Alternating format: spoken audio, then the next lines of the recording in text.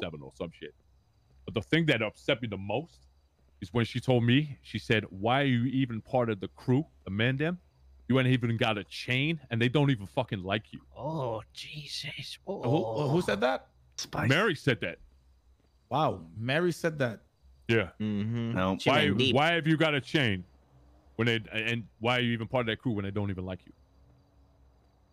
So they, they, I mean, okay, I, I don't want to, I don't want to put hands on Mary, but like, motherfucking, it's if Summer's talking shit, please